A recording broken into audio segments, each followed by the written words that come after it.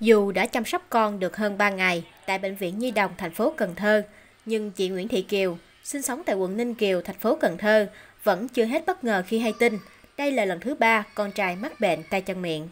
Đáng nói trong lần này, con trở nặng và buộc phải điều trị tại khoa hồi sức tích cực chống độc.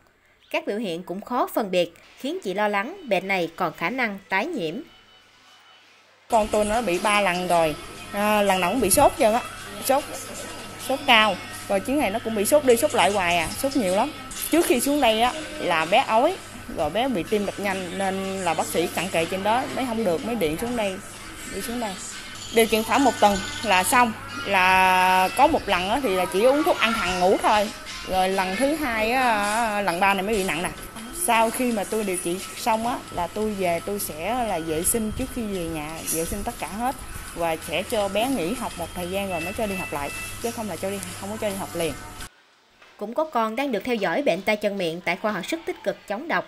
Qua tình trạng sốt liên tục và tim đập nhanh, anh Nguyễn Hoàng Phúc, cha của bé, cho biết, bác sĩ dự đoán trong 3 đến 5 ngày tới, bé có khả năng sẽ phát bệnh nặng và nếu không điều trị kịp thời sẽ còn gây nguy hiểm xuống ở đây được hai ngày nay thì à, quá trình ấy thì bé nó bắt đầu phát phát ra những cái mực đỏ ở trong tay và chân và chân mũi.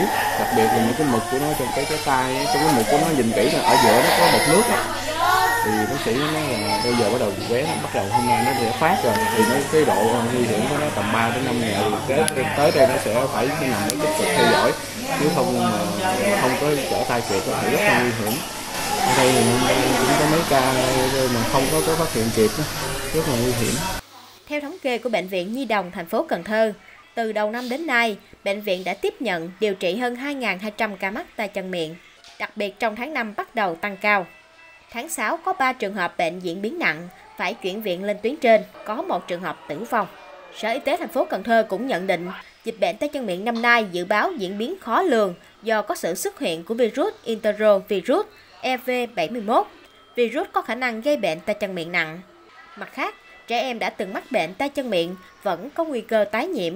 Do đó, cha mẹ phải đưa trẻ đến ngay bệnh viện nếu thấy trẻ có biểu hiện bất thường.